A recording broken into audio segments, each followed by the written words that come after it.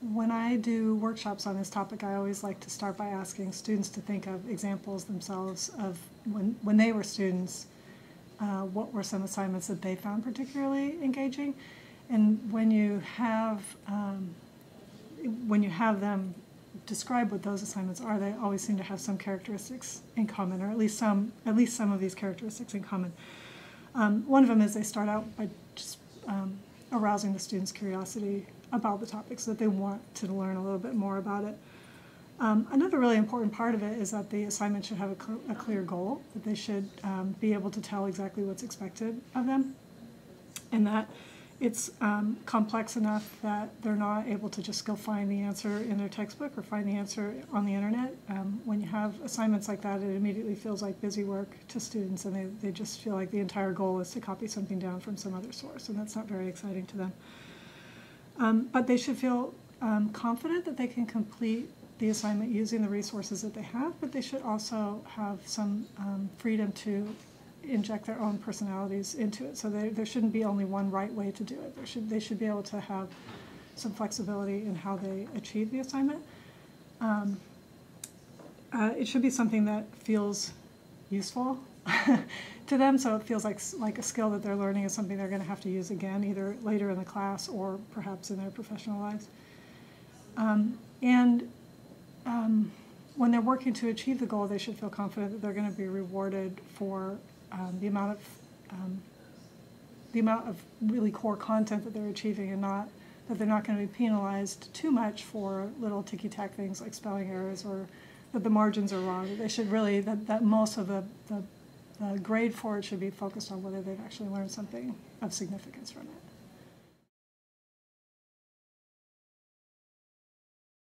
I've always thought of it as, as a multi-step process. And so the very first thing that you have to do when you're creating any kind of a new assignment is to, is to start with the goal, start with the goal in mind. So what is it that you want students to be able to achieve afterwards? Um, it's sometimes it's really hard to articulate that, but that's the first thing that you have to do because everything that you do subsequent to that has to fit with that goal. Otherwise, it doesn't belong in this assignment. So articulate the goal first. Um, the second thing to do is to actually think of what you want the students to do in support of that goal. This is the hardest part, and it's the part that it's very difficult for me to speak about in a generic way because I don't know what your particular goal is. I don't even know what your field is. Um, and so you need to you need to brainstorm along with people who know your field better than you and who understand what your goal is um, to figure out what's the best way to achieve that goal. But there's a book um, by Angelo and Cross that was written in 1993 called um, Classroom Assessment Techniques that's really useful for jumpstarting your imagination. So I highly recommend that book. It's got everything in there from having students make lists, concept mapping is in there, um, just having them write down little papers about what they learned in today's lecture, that kind of thing. You can also have much, much more uh, in-depth types of assignments where students have to go out and interview experts, where they have to take their cameras out on campus and take pictures of the concepts that you're trying to talk about in class. Um, there's just the, the sky is the limit, having them make videos, having them make their own classroom presentations. Um, there are so many different ways that you can um, that you can reinforce a goal, but it depends on what your goal is. So I can't really say here's how you here's how you do that part. That's the super creative part of this. Once you think you have an assignment in mind, the third thing to do is to actually try the assignment yourself. So pretend you're a student and actually try it.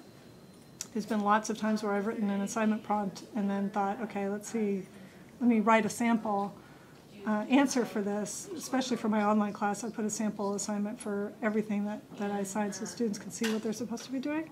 And sometimes when you write that sample, you realize that either it's impossible, or it's way too big, or it's way too small, or the answer is already out there. So just by, by practicing with it, you see whether you're, you're missing anything big.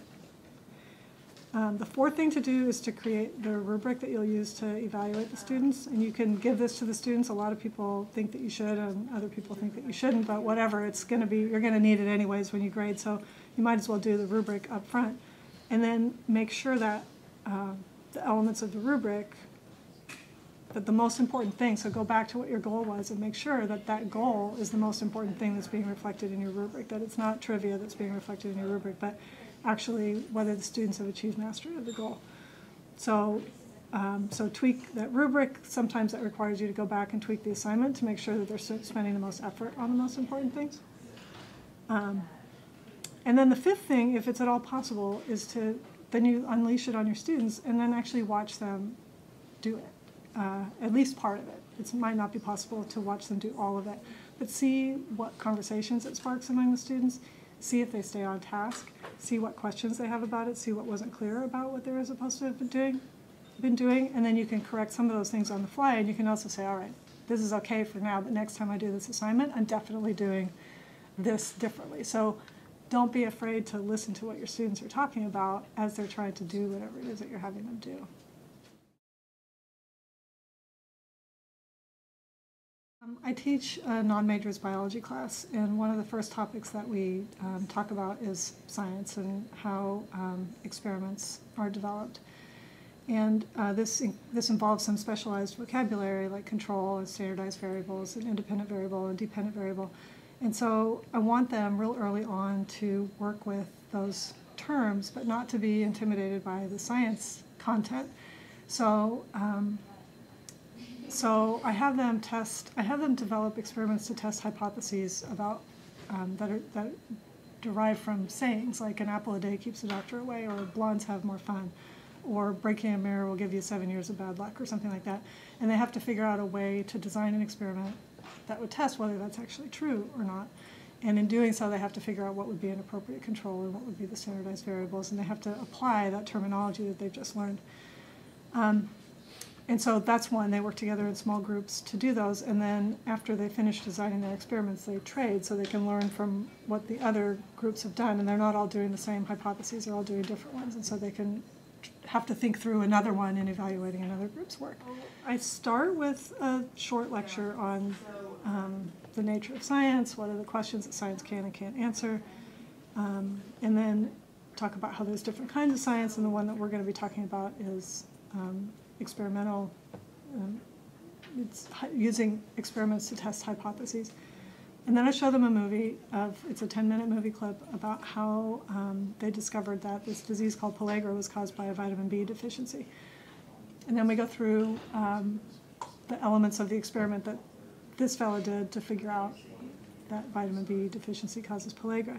And then I hand out these sheets, and the sheets say, all right, uh, you've got one that says an apple, an apple a day. So you're in a team of four students, and yours says apple a day keeps the doctor away, and this team says if you break a mirror, then you'll have seven years of bad luck. And this one says if you spit on a bat before you use it for the first time, then it'll be lucky. You know, like that kind of thing.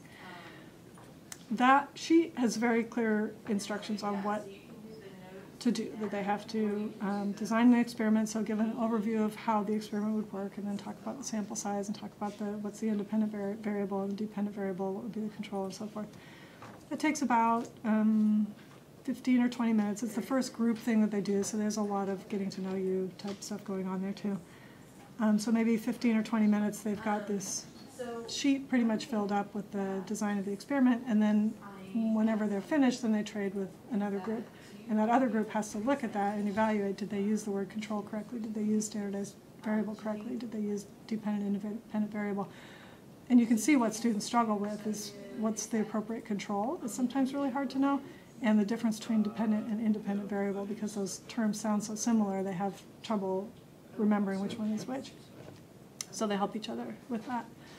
Um, and then right away for the next couple of weeks in lab, they're also designing experiments. And so that is something that, that's building a foundation that they're going to be using over and over again in the class. So even if they're not going to be designing experiments as their profession, at least it is something that, that um, helps them be more successful and more efficient in life. I think that's really cool that they have to sift through all these possibilities and come up with something that would work. And maybe another one would also work, but that's okay. They don't have to come up with all possible experiments. They just have to find one that would work. And I really, um, I think that's that's nice because there's some creativity, but it's not so crazy that they have no idea how to even approach it.